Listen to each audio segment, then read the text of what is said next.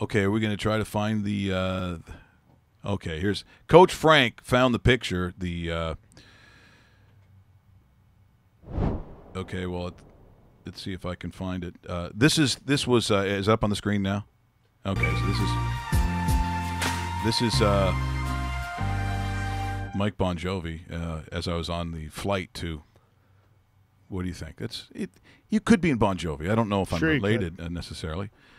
Uh, I don't know if. Uh, See, it looks like it looks like you could either be, uh, you know, uh, a drummer or guitarist Yeah. for Bon Jovi, or you know what? I- I'd even go as far as saying, just by the headshot, professional wrestler, because you got I the could- ta- yeah. you got the I- tan, yeah, the tan was you got the on, yeah. flow, yeah, the flow was good. and you know you look like you probably hail from uh, Florida.